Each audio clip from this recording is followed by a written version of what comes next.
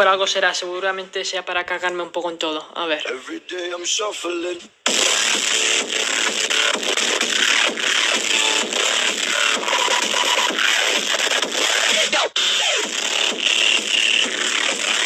Yo creo que lo voy a dejar por aquí.